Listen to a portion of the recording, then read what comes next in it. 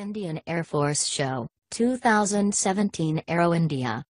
With just a few days left for Asia's premier air show, Aero India 2017, a 24-year-old man was arrested by the Yelahanka police for his suspicious behavior at the Yelahanka Air Base, where the event is to be held.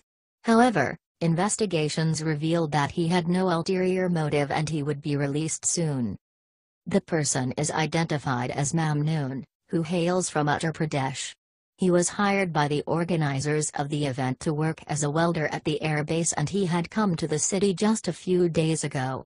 The police said that Mamnoon is a daily wage laborer and his behavior raised suspicion among the Air Force staff on Saturday night around 9 p.m.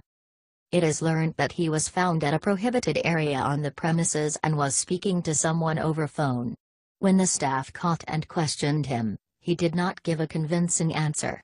The Air Force staff frisked him and found nine SIM cards in his possession. Further, they also found some photos of the airbase in his phone's gallery. This raised suspicion about him and an Air Force official formally lodged a complaint with the Yelahanka police, who arrested him based on the complaint.